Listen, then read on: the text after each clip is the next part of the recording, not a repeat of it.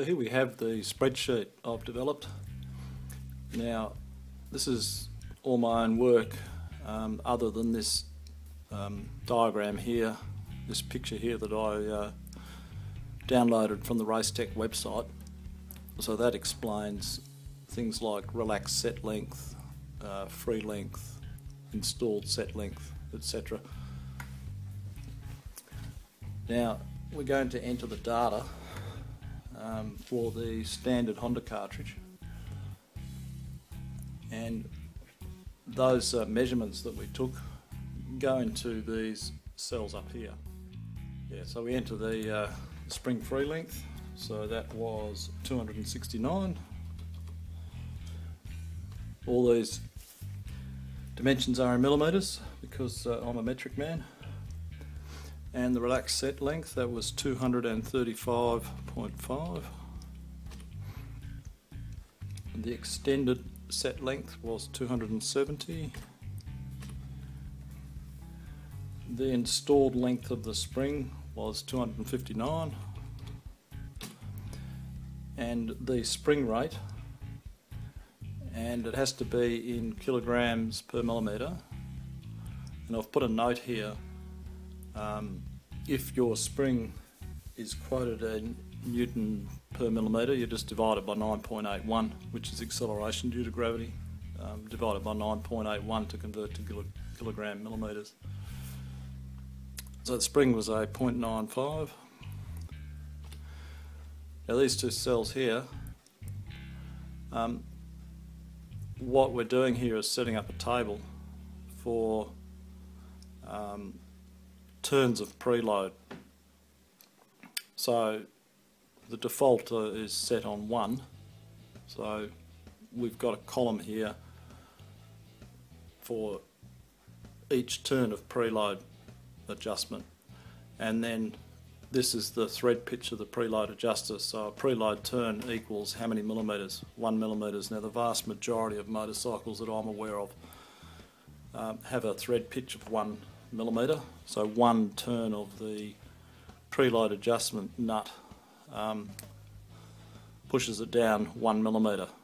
I don't know of any bikes that don't use a pitch of uh, one millimetre. The beauty of this is if you wanted to see what a half a turn does, well you can change that to you know uh, increments of half a turn and then you'll get along here half turn intervals we'll leave it at one. Um,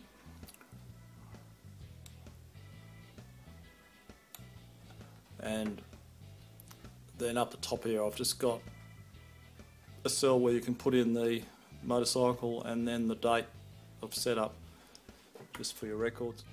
So these are the targets um, and I've put some default numbers in there you could put your own but you know, the actual preload on the spring, um, we want it to be somewhere between 5 and 11 millimetres. Now remember, if you change springs to a stiffer spring or a um, lighter spring, well then the preload on the, the preload you end up with on the spring is going to change because uh, we're putting the preload on with the top out spring. But generally that, that's the sort of number you're after. The relaxed preload, um, I generally think it needs to be between 35 to 42, but that will change a bit. A stiffer mainspring will give you a higher relaxed preload reading than a um, lighter spring.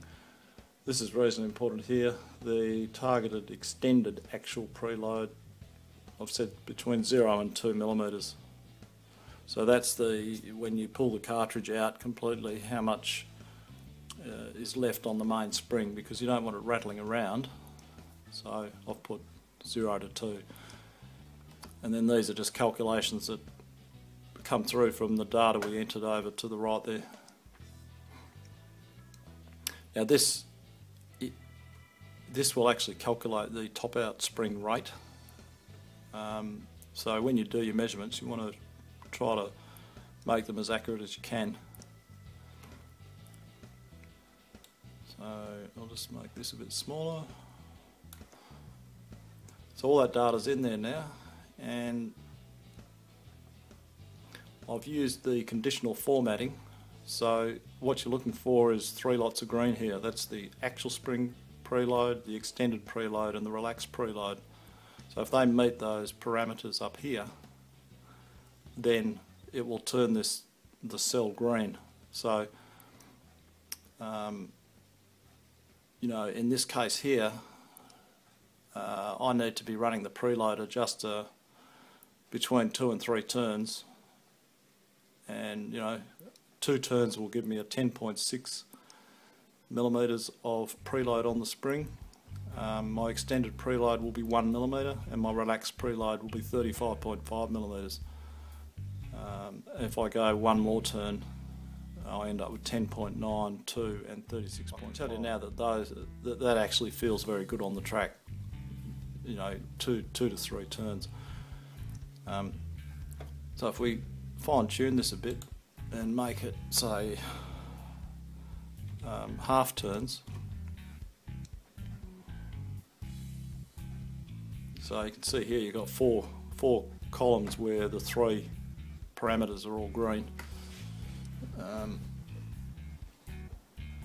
yeah, so it's saying here, you know, one 1.5 turns 1.5 turns will give you, you know, 10.4 millimeters of preload, half a millimeter of extended spring preload, and 35 mils of relaxed preload.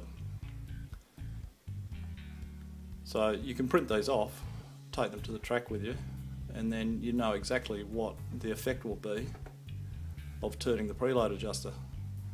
Because you can just refer to this table. This is handy. I've found it very handy anyway. Now we've got three worksheets in this workbook, so I'll just go to the second worksheet and I'll put in the data for the Öhlins uh, cartridge, the road and track cartridge. So you may remember we had a spring free length 259. 259. We had a relaxed set length of 224 We had an extended set length of 263 and we had an installed length of 250. Now in this case uh, the spring I have in the Öhlins cartridge is an Öhlins spring that's quoted at 10 newtons per millimetre so I need to divide that by 9.81 so I'll just put the formula in. I'll just go uh, equals 10 divided by 9.81 so that's a 1.02 kilograms per millimetre. And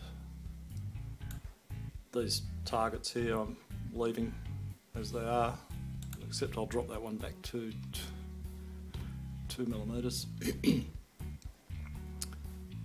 and we can see what, what we've got. So you can see here it's telling me that between four and six turns meets those parameters. So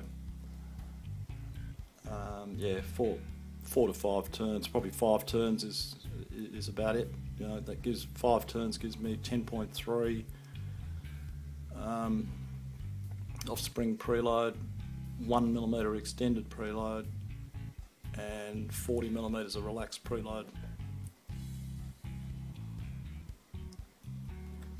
So there you have it. Uh, now this will be on Dropbox and you can download this for your own use. It's all protected. Um, any cell with a yellow um, fill is a cell that you can access and put a number into or put a comment into any anything else is uh, is a calculation, is a formula. I find this very helpful. Thanks for watching.